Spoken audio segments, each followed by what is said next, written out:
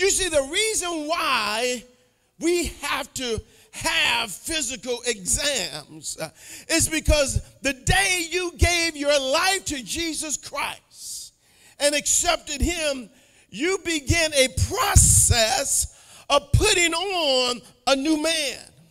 And that process of putting on a, a new man continues all the days of your life. But in that process of putting on uh, this, this new man, things in this life happens and uh, the enemy gets in and the enemy seeks to slow down that process. Uh, the, the enemy seeks uh, to stop you from growing and, and stop you from developing. The enemy seeks to put you on the wrong spiritual diet to make you unhealthy spiritually. So we need a, a spiritual exam.